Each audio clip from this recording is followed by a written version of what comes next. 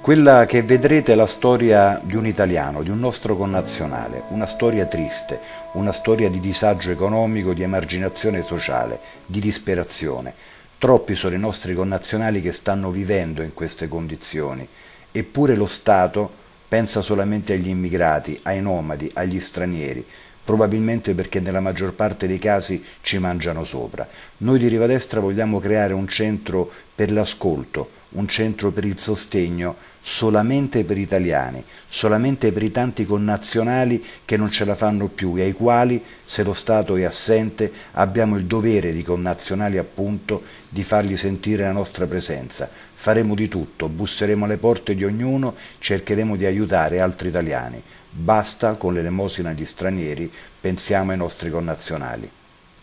Mi chiamo Carlo Stragliati, sono nato a Roma, ho 53 anni e ormai da quasi 10 anni vivo dentro una macchina. Dopo aver avuto prima una trombosi e poi eh, una serie di vicissitudini familiari che si sono accavallate a questa trombosi tipo la morte di mio padre, poi la separazione dalla mia seconda compagna e mi sono trovato dopo un infarto poi non riuscire più a riprendere il lavoro perché non avevo più liquidità. Purtroppo ci sono tanti come me che oramai dopo tanto tempo non sono più in grado di farlo perché magari si sono dati all'alcol, si sono dati a qualche, altra, a qualche altro operativo per non pensare che questa vita ti porta solo a soffrire, a pensare, a pensare solo cose brutte ho, una, ho, un assegno di invalidità in quanto la mia invalidità è superiore al 74%. Questo assegno di invalidità è pari a 290 euro. 290 euro per vivere fuori casa durano bah, 10 giorni per vivere fuori casa. Vivendo dentro casa sarebbe diverso perché uno con 5 euro pranza, cena e mangia anche il giorno dopo quando vivi in macchina purtroppo queste cose non, non puoi farle, non, non, ti puoi cucinare da solo e le mense di cui si parla tanto, beh io prima, qua, prima di trovarmi in macchina pesavo esattamente 35 kg di meno. E grazie a queste mense che sono ridotto in questo modo perché quello che viene cucinato è grazie a Dio uno dovrebbe dire che ti danno da mangiare, sì è vero. E ringraziamo Dio che ci danno da mangiare. Non ci vado da anni oramai, perché mi sono rovinato proprio con queste cose. D'altronde purtroppo con 290 euro al mese eh, non puoi permetterti di andare neanche a mangiare in una, in una, tavola calda, niente, devi mangiare panini a pranzo o panini a cena. Non ti fa un po' rabbia vedere che lo Stato italiano non aiuta le persone come te? Chissà quante altre storie potrai raccontare in questi dieci anni di macchina, chissà quante disavventure avrai visto anche in altre persone che si trovano nelle stesse condizioni. Non ti fa rabbia che le persone che vengono da fuori sono molto più assistite ed aiutate rispetto a noi italiani? Eh, mi dispiace dirlo, come credente eh, devo dire che comunque sì, mi fa rabbia. Chiaramente vedere che c'è gente che viene da fuori, che come arriva c'ha l'albergo a 4 stelle, c'ha i telefonini, che si lamenta addirittura delle lasagne perché non gli piacciono o del percorso da fare per andare a mangiare, io vorrei dire, beh, ok, allora compratevi una macchina, se ci riuscite, vivete in macchina e andate avanti senza manco i soldi, senza manco quello, perché ci sono italiani come me, come tanti altri, che dopo aver lavorato per tanti anni e aver fatto purtroppo, aver scelto la professione, la, la professione libera e di conseguenza non avere nessuna garanzia per il futuro, ma ci sono gente come me che lavora, ha lavorato e oggi si ritrova a dormire dentro una macchina. Tu c'è rabbia perché vedo che lo Stato, eh, ripeto, non invidia, ma rabbia, perché vedo che lo Stato non tutela i suoi cittadini, ma pensa prima agli stranieri e questo mi fa dispiacere più che rabbia. Mi sento abbandonato dalla mia, dalla mia nazione, dal mio Stato, dalla, dalla, dalla mia città, dai miei concittadini, dai miei compatrioti, perché, perché se non, perché quando hai un problema non sai a chi rivolgerti, non sai, non sai come risolverlo, se lo vuoi risolvere lo devi risolvere come ti dice lo Stato, non è mai come una cosa che, che è quella che a te hai bisogno, perché io adesso ho bisogno di alcune cose che lo Stato non mi dà, dovrei fare delle analisi che, non, che prevedono delle preparazioni di alcuni giorni prima e lo Stato non mi dà un posto dove andare a dormire, a mangiare determinate cose perché devo prepararmi per quell'analisi e dopo due giorni devo continuare a mangiare determinate cose. Per cui anche la, chi sta male poi vive in questa situazione, la malattia se la deve tenere, non, può, non ha la possibilità di guarire. Più di una volta è successo che eh, io purtroppo non sono molto bravo a eh, dare una nazionalità ben precisa, però mi sembrava che fossero, eh, questo, in questo caso, nordafricani eh, che mi hanno aggredito eh, sempre vicino a Lungotevere dove dormo. Eh, questa volta però fortunatamente erano due da soli e, e essendo ancora in forze qualche anno fa, due o tre anni fa, oggi con queste gambe non riuscirei proprio a reggermi in piedi e a sopportare un'aggressione e un altro, un altro, paio di aggressioni le ho subite eh, sempre quando dormivo Villa, al parco di Villa Madama, eh, però fortunatamente senza conseguenze. Le più, le più, brutte sono state queste di questi guardoni che volevano lasciarsi il posto e queste di questi russi che eh, ubriachi, ma poi molti sono riusciti a evitarle andandomene via, insomma. Hai mai avuto cattivi pensieri? Sì, sì, li ho avuti e più di una volta, ma li ho avuti perché, perché io non ho vizi, non, non bevo, non faccio, non uso sostanze stupefacenti, per cui sono lucido e allora mi rendo conto alle volte che, che non c'è via d'uscita a questa situazione, se non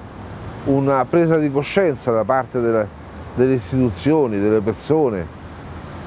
Presa di coscienza, ripeto, che non deve valere soltanto per me, ma deve valere per tutte le persone che come me possono ancora essere un valore aggiunto per, per, per, la, per lo Stato. No? In certi momenti ti rendi conto che queste cose non avverranno mai perché, perché ti dici ma se non è avvenuto in dieci anni ma perché dovrebbe avvenire nei prossimi dieci? Sì, ma nei prossimi dieci anni in queste condizioni, con le gambe che mi ritrovo, col cuore che mi ritrovo,